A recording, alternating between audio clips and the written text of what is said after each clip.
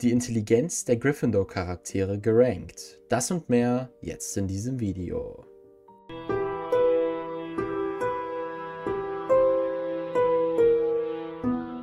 Wir alle wissen, dass Ravenclaw eigentlich das Haus mit den schlausten Schülern ist. In diesem Video allerdings geht es um die Gryffindor-Schüler. Im heutigen Video widmen wir uns einem besonderen Thema, der Intelligenz der Gryffindor-Studenten. Wir alle wissen, dass Gryffindors für ihren Mut bekannt sind, aber wie steht es um ihre Intelligenz? In diesem Video ranken wir die 20 klügsten Gryffindors basierend auf unseren Analysen. Lasst uns direkt loslegen. Beginnen wir direkt mit dem Platz Nummer 20 und dort haben wir Cormac McLagan. Cormac McLagan wird oft als engagierter Gryffindor-Schüler dargestellt, der jedoch in Bezug auf Intelligenz nicht unbedingt auf dem ersten Platz landet. Seine Taktlosigkeit und mangelnde Selbstkontrolle zeigen, dass er nicht immer die klügsten Entscheidungen trifft.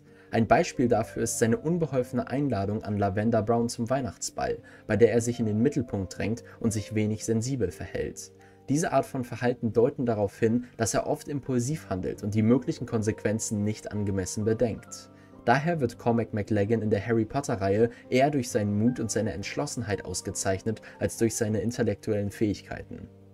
Machen wir weiter mit Platz 19 und dort haben wir Lavender Brown. Lavender Brown wird in der Harry Potter-Reihe als fröhliche und freundliche Gryffindor-Schülerin dargestellt, die jedoch nicht für herausragende intellektuelle Fähigkeiten bekannt ist. Ihr Fokus liegt eher auf sozialen Interaktionen und emotionalen Aspekten als auf intellektuellen Herausforderungen.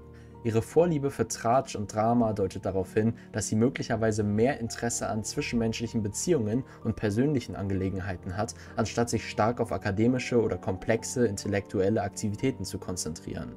Während sie sicherlich ihre eigenen Stärken und Qualitäten hat, zeichnet sich Lavender Brown in der Harry Potter Welt nicht durch ihre intellektuellen Fähigkeiten aus, was sie auf den Platz 19 dieser Liste der intelligentesten Charaktere aus Gryffindor setzt. Machen wir weiter mit Seamus Finnegan. Seamus Finnegan wird in der Harry Potter-Reihe als loyaler Freund dargestellt, der jedoch manchmal durch seine Tollpatschigkeit auffällt. Diese Eigenschaft lässt darauf schließen, dass er möglicherweise einen gewissen Mangel an Aufmerksamkeit für Details hat. Seine Neigung dazu, Dinge in die Luft zu jagen, wie zum Beispiel beim versehentlichen Auslösen von Explosionen, trägt nicht unbedingt zur Vermutung hoher Intelligenz bei. Solche impulsiven Handlungen können darauf hinweisen, dass er vielleicht nicht immer alle möglichen Konsequenzen seiner Taten angemessen bedenkt. Obwohl er zweifellos positive Charakterzüge hat, positioniert seine Neigung zur Tollpatschigkeit und unbedachten Handlungen ihn auf Platz 18 dieser Liste der intelligentesten Charaktere aus der Gryffindor Harry Potter Welt. Machen wir weiter mit Dean Thomas. Dean Thomas wird in der Harry Potter Saga als ein begabter Künstler beschrieben, der seine kreative Seite gern zum Ausdruck bringt. Während er zweifellos Talent in künstlerischer Hinsicht hat, gibt es nur wenige Hinweise darauf, dass er sich intellektuell besonders hervortut. Seine Leidenschaften und Interessen scheinen eher in kreativen und praktischen Bereichen zu liegen, anstatt in akademischen oder analytischen. Obwohl Kreativität eine wertvolle Eigenschaft ist, die zu einem vielfältigen Charakter beiträgt, lässt Deans Fokus auf Kunst und praktische Angelegenheiten vermuten, dass er möglicherweise nicht im gleichen Maße in intellektuellen Belangen herausragt wie einige andere Charaktere. Und genau das platziert ihn auf Platz 17 dieser Liste der intelligentesten Charaktere. Machen wir weiter mit Romilda Vane. Romilda Vane wird in der Harry Potter-Reihe als eine Schülerin dargestellt, die ein deutliches Interesse an Harry hat. Jedoch scheint dieses Interesse eher von Bewunderung und Anziehung geprägt zu sein, als von tieferem intellektuellem Engagement.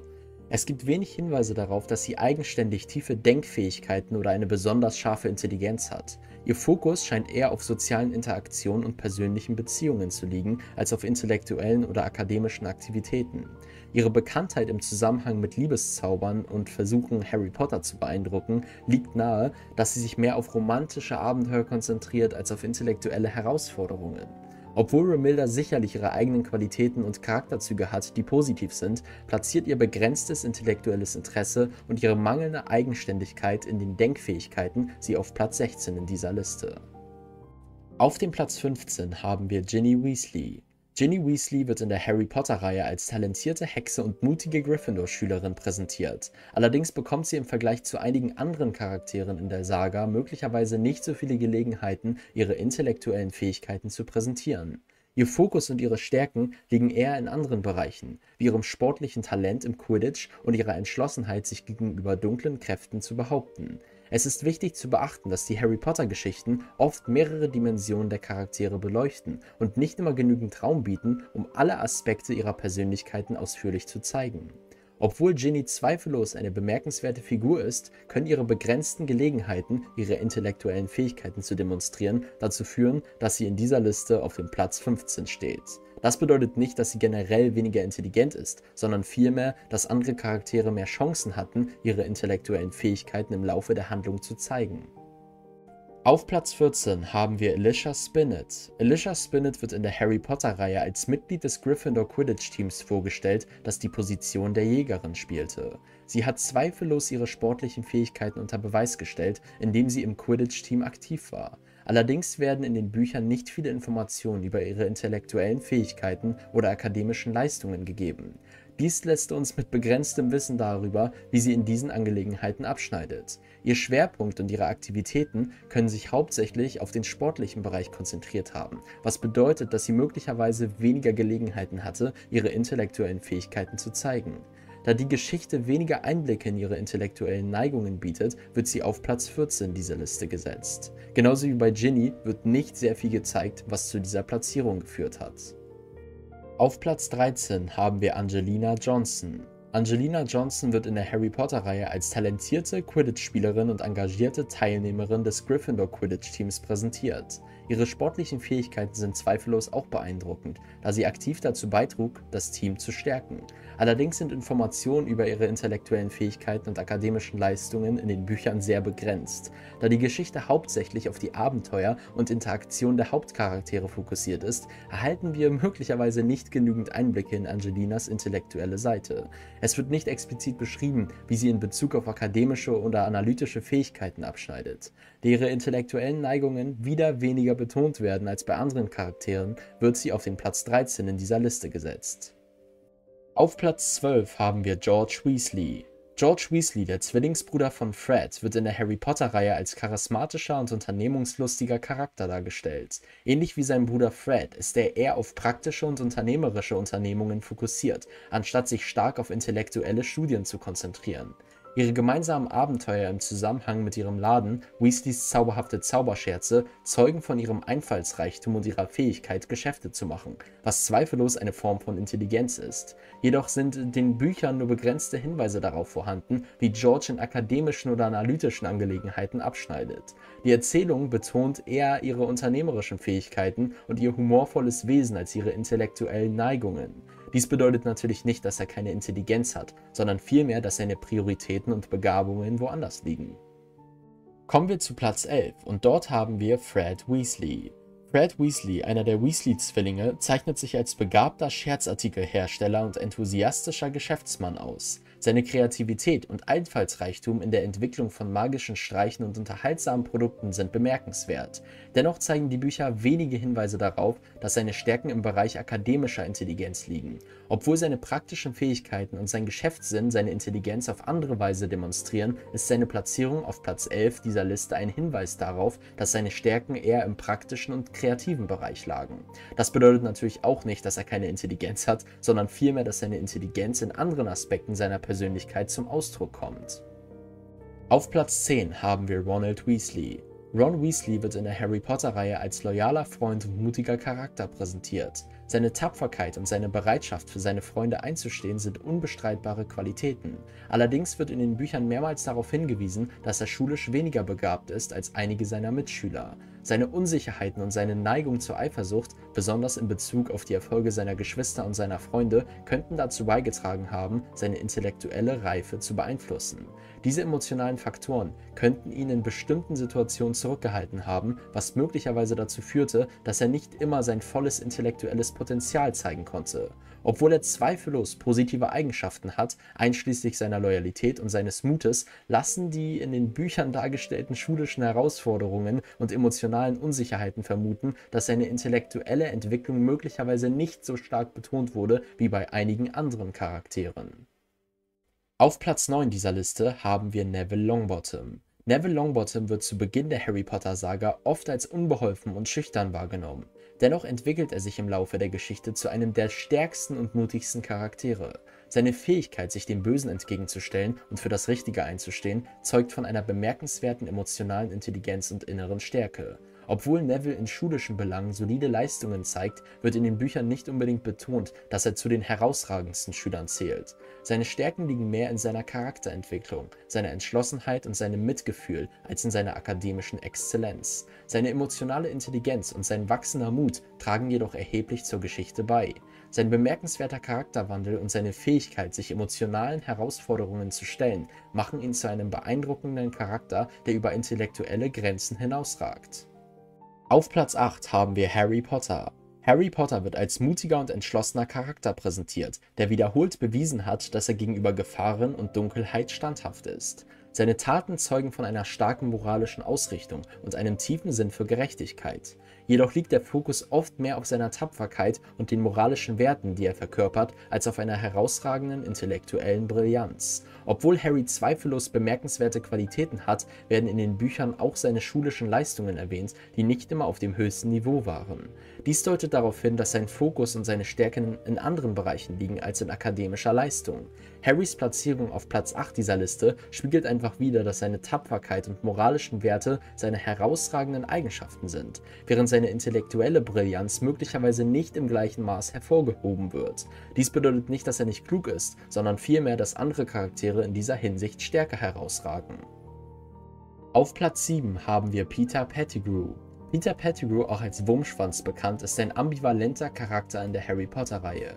Er zeigt eine gewisse Schlauheit in seiner Fähigkeit, sich selbst zu retten und seine Loyalitäten anzupassen, um seine eigenen Interessen zu schützen. Diese Fähigkeit, sich anzupassen und zu überleben, zeugt von einer gewissen Form von Intelligenz, insbesondere in Bezug auf taktisches Denken. Jedoch sind seine Menge und seine impulsiven Handlungen nicht zu übersehen.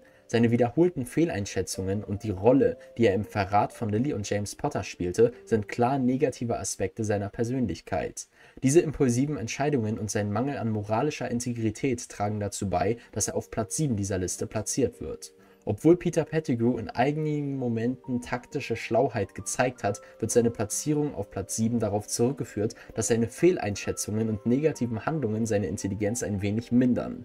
Seine Neigung zu impulsiven Entscheidungen und seine Unfähigkeit, moralische richtige Entscheidungen zu treffen, beeinträchtigen seine Gesamtbewertung in Bezug auf Intelligenz.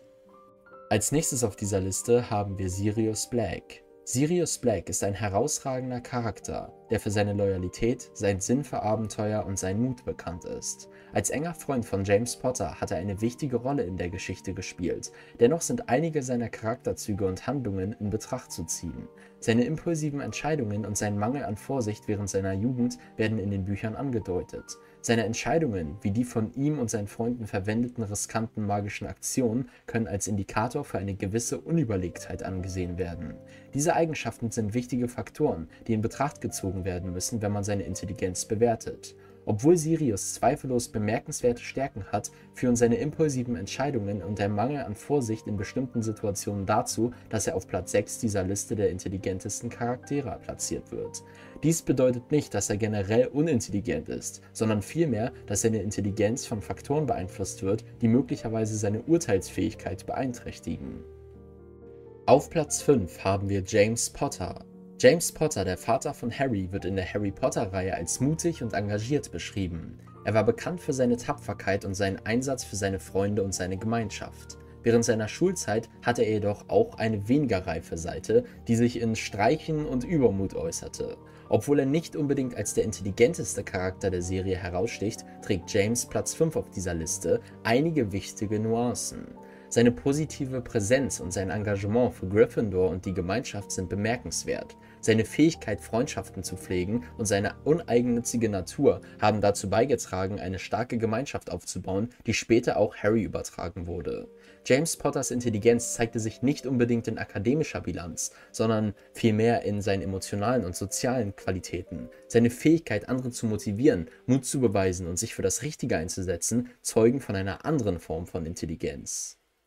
Als nächstes haben wir Lily Evans. Lily Evans wird in der Harry Potter-Reihe als eine bemerkenswert intelligente Hexe dargestellt. Obwohl sie nicht die Spitzenposition erreicht, zeigt sie dennoch herausragende intellektuelle Fähigkeiten. Ihr Talent in der Zauberei und ihre Fähigkeit, anspruchsvolle Zauber und magische Konzepte zu meistern, sind wirklich sehr beeindruckend. Lillys Intelligenz zeigt sich auch in ihrer Empathie und ihrem Mitgefühl, insbesondere in Bezug auf Severus Snape. Ihre moralische Integrität und ihre Fähigkeit, das Richtige zu erkennen und auch so zu handeln, zeugen von einer reifen und tiefen Denkfähigkeit. Während sie nicht unbedingt die höchste Position erreicht, trägt ihre Intelligenz und ihr Einfluss auf die Welt der Zaubererwelt maßgeblich zur Handlung der Geschichte bei. Kommen wir zum Platz 3 und dort haben wir Minerva McGonagall. Minerva McGonagall, die stellvertretende Schulleiterin von Hogwarts, wird in der Harry Potter-Reihe als äußerst talentierte Hexe präsentiert. Ihre Fähigkeiten der Transfiguration sind beeindruckend und sie hat eine bemerkenswerte Fähigkeit, sich komplexer Magie anzupassen und sie zu beherrschen. Als erfahrene und weise Anführerin trägt sie maßgeblich zur Führung von Hogwarts bei. Ihre Platzierung auf Platz 3 in dieser Liste reflektiert ihre starken intellektuellen Fähigkeiten und ihre beeindruckende Beherrschung der Zauberei. Ihre Rolle als Lehrerin und ihre Verantwortung als stellvertretende Schulleiterin erfordern eine tiefe und vielfältige intellektuelle Kapazität. Ihre Weisheit, ihr Urteilsvermögen und ihre Fähigkeit, in komplexen Situationen kluge Entscheidungen zu treffen, zeugen von ihrer intellektuellen Reife. Minerva McGonagalls Intelligenz zeigt sich nicht nur in ihrem akademischen Wissen, sondern auch in ihrer Fähigkeit, Schüler zu lehren, zu führen und schwierige Situationen zu bewältigen. Und auf Platz 2 dieser Liste haben wir Hermine Granger. Hermine Granger wird in der Harry Potter-Reihe als eine außergewöhnliche, brillante Hexe präsentiert. Ihr unersättlicher Wissensdurst und ihr Engagement für ihre Studien sind deutlich erkennbar. Sie ist nicht nur eine eifrige Schülerin, sondern auch eine sachkundige Forscherin, die oft die Antworten auf schwierigste magische Rätsel und Herausforderungen findet. Ihre intelligente Herangehensweise an Probleme und ihre Fähigkeit, logische Verbindungen herzustellen, zeichnet sie besonders aus. Ihr Verlangen nach Wissen treibt sie an, ständig zu lernen und sich weiterzuentwickeln. Ihre Entschlossenheit, schwierige Aufgaben anzugehen, zeigt ihr intellektuelles Wissen und ihre Reife und ihren Ehrgeiz. Hermines Platzierung auf Platz 2 in dieser Liste spiegelt ihre bemerkenswerte Intelligenz und ihr Wissen wider. Sie ist eine wertvolle Freundin, die nicht nur auf ihre intellektuellen Fähigkeiten setzt, um ihre Freunde zu unterstützen, sondern auch eine treibende Kraft in der Bewältigung der vielen Herausforderungen, denen sie während ihrer Zeit in Hogwarts begegnen, gewachsen ist. Ihre Platzierung zeigt, dass sie in Sachen Intelligenz zweifellos eine der Top-Figuren der Saga ist. Und nun kommen wir zum Platz 1 und wer hätte es gedacht, darauf landet Albus Dumbledore. Albus Dumbledore wird in der Harry Potter-Reihe zweifellos als eine der intelligentesten und weisesten Figuren dargestellt. Als legendärer Schulleiter von Hogwarts hat er eine Fülle von Wissen und Einsicht in der Welt der Magie angehäuft. Seine tiefe Weisheit und sein umfangreiches Verständnis von Zauberei sind bemerkenswert und unübertroffen. Dumbledores Fähigkeit zur Vorhersehung und sein Talent, komplexe Zauber und magische Konzepte zu beherrschen, zeugen von seiner außergewöhnlichen intellektuellen Kapazität. Sein strategisches Denken und sein tiefes Verständnis für die Geschichte der Zauberei und sein Einsatz für das Allgemeinwohl sind beeindruckende Beispiele für seine Intelligenz. Sein Platz an der Spitze dieser Liste als intelligentester Gryffindor-Charakter ist wohlverdient und spiegelt seine außergewöhnlichen Fähigkeiten und Qualitäten wider. Seine Rolle in der magischen Gemeinschaft, seine Führungsfähigkeiten und sein Beitrag zur Bewältigung komplexer Probleme machten ihn zu einer unvergesslichen und respektierten Figur in der Welt von Harry Potter. Und das war unsere Rangliste der Gryffindor-Charaktere basierend auf ihrer Intelligenz. Denkt daran, dass Intelligenz auf viele Arten gezeigt werden kann und jede dieser Figuren hat ihre eigenen einzigartigen Qualitäten. Welcher ist euer Lieblings-Gryffindor und wie hättet ihr diese Liste geordnet? Lasst es uns gerne in den Kommentaren wissen. Ich danke dir für deine Aufmerksamkeit und bis zum nächsten Mal bei Harry Potter Wissen.